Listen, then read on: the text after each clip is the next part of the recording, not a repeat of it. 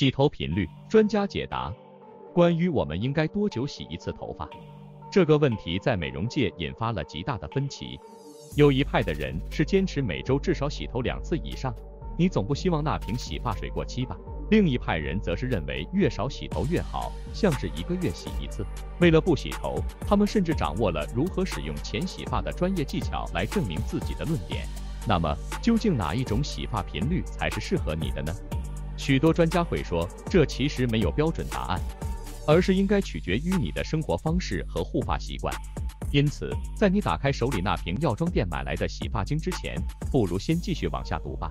专家介绍：D.N. Davis 博士，FAD 美国皮肤病学会会员，是德州 Hopkins Dermatology 的认证美容皮肤科医生；Annabelle Kingsley，一位毛发学家，也是 Philip Kingsley 护发品牌的总裁；James Kilger 博士。皮肤科医生也是 QGMD 的创始人。究竟应该多久洗一次头？洗头的频率取决于几个因素，包括你的发质、日常生活的活跃程度、头发在吹整好造型后多久会变得油腻，以及头皮的整体健康情况。经认证的美容皮肤科医生 D.N. Davis 博士通常会建议他的患者至少每周洗一次头，但如果有头皮屑或头皮堆积物的状况，则可能需要更频繁的洗头。同时，身为护发品牌 Philip Kingsley 的总裁和毛发学家的 Annabelle Kingsley 也持有类似的观点。他说：“作为一名毛发学家，我总是建议要经常洗头，因为头皮就是我们脸部皮肤的延伸，同样会每天脱落死皮细胞、积聚污垢和细菌，并分泌油脂和汗水。洗头频率：如果你的头发头皮是一油性头皮。”如果你是油性头皮，皮肤科医生 James k u g e r 博士建议至少每隔一天洗一次头，并使用专门为油性头皮设计的产品。他解释，如果头皮容易出油，那么应该要选择清洁型或头皮调理型的洗发精，同时避免使用质地厚重的护发素。他还建议要避免使用主打丰盈头发的产品，因为这些产品往往会在发丝上形成一层薄膜。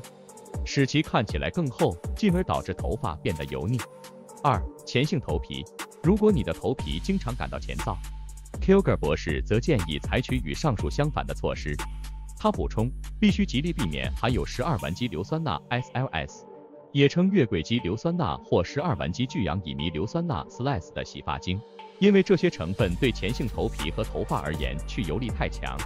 此外，前性头皮的人应寻找含有高度保湿成分的护发素，例如成分包含甘油、神经酰胺、维生素 E、玻尿酸，或含有润肤油如摩洛哥坚果油或荷荷巴油的产品。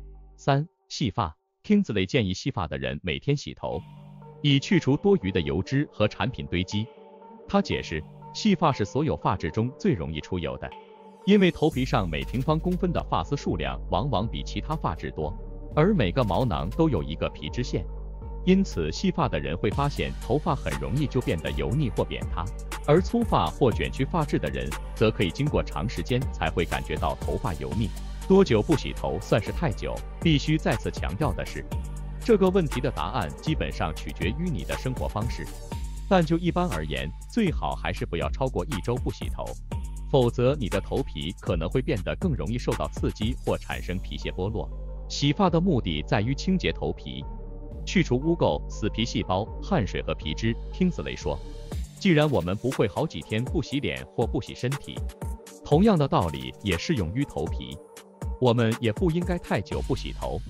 根据 Kilger 博士的说法，如果洗头洗得不够频繁，头皮便会出现一些明显的迹象，包括出现洗护产品和油脂的堆积。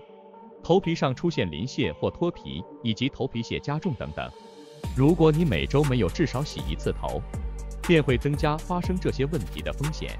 健康生活编辑部，谢谢收看。健康生活关心您的生活健康，请订阅、点赞及转传。